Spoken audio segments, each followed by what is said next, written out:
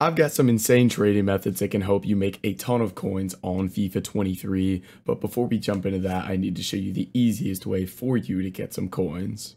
If you guys are looking for the cheapest and most reliable coins on the market, make sure to head over to utnice.com and use code CHIEF for 5% off at checkout. Now let's get right into this video.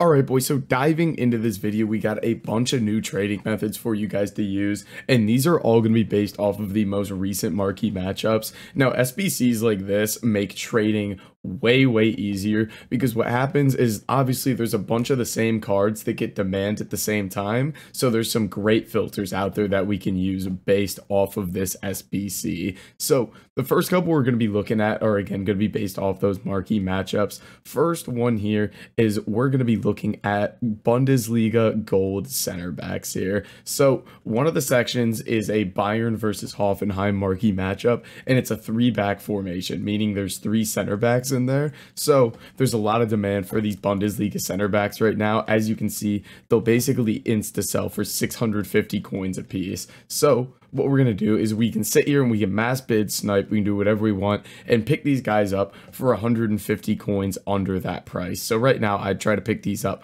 for 500 coins a piece now i usually don't try to snipe on marquee matchups filters. The reason for that is they're just so contested. There's usually sniping bots on them. It's usually they're just super popular filters so they're a lot more difficult to pick cards up which is why i primarily bid on these filters. It's a lot easier to pick cards up and overall just it's just not a waste of time and i think sniping is i think sniping is just really really bad with the amount of bots and stuff out there. So you can also play around with different positions in here as well. Center back is going to be the most popular of them but we can look at right mids and left mids. You can see these right mids are 600 a piece we can go look at left mids here. What are these selling for? These are a little more expensive.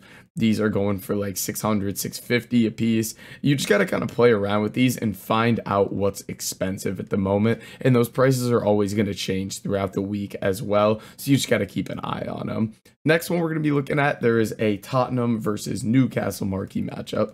Hold up, stop the video. If you guys want to make as many coins as possible on FIFA 23, make sure that you are following on Twitch for all my daily live streams. Every single day over there, we're doing live trading with you guys, answering questions, whatever you may have to help you make as many coins as possible. And make sure you join the Discord as well. We got a premium Discord server for you with all investments, trading tips, everything like that for all the Twitch subscribers. And if you haven't already, make sure to drop a like on the video and subscribe to the channel. And let's get right back into the action. So we're going to be looking at Premier League cards here. And again, the basic one is going to be center backs here.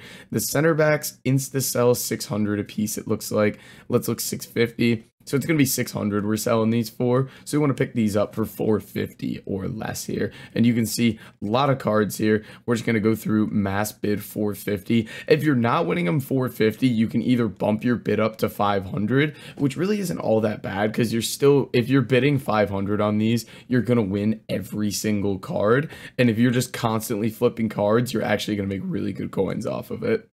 And again, you could try sniping these cards if you wanted. I don't even bother. I think it's a waste of time. And yeah, they're going to pop up a ton. It's just, eh, they're really difficult to win. And then let's look at left mids, right mids in the Prem here. Left mids in the Prem are currently about 700 by the looks of things. So if we sell these at 700, we want to pick them up at 550 here. Again, typical rule of thumb, just go 150 coins under what they sell for. And then I'm just going to come through here and mass bid on a bunch of different cards there. And then if I were to go uh, right mid here, let's see what these are going for. You can see you can see like a general pattern of the positions.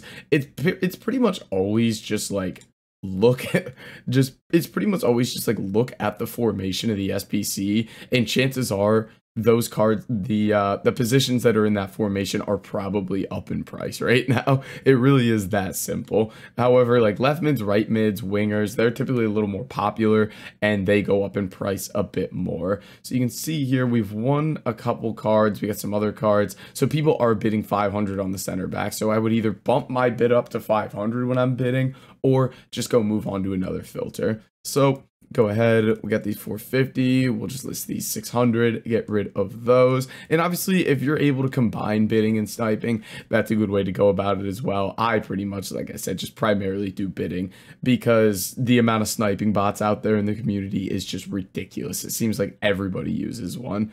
So, and then the last thing I want to do, I didn't even look at the other sections of the marquee matchups. I wanted to show you basically how I would like look at it and be like, oh, there could be a filter on this. So let's look at Galaxy versus um versus LAFC. So you need a US player, you need two silver players.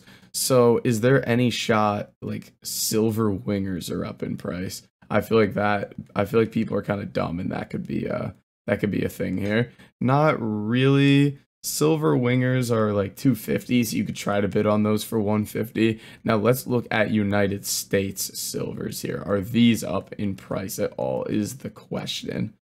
Ba-da-bum, ba-da-bum. Yes, so US silvers are up in price because people are just doing US silver squads here. So these are 400. You could sit here and bid on these. So that is basically how I go about finding filters. It's just look at the SBC, see what's required, and then go from there. Here, I bet you silver French players are up in price quite a bit right now. It requires two French players and minimum player quality silver. So silver French cards are going for a minimum of like 450 here, as you can see. Uh 500 yeah it looks like these are going to sell 450 so yeah it's as simple as that to find filters. Look at these sbcs analyze what's going to go up in price and then go play around with the filters. But guys that's going to be it for this video. If you did enjoy it make sure to like comment and subscribe and i'll catch you in the next video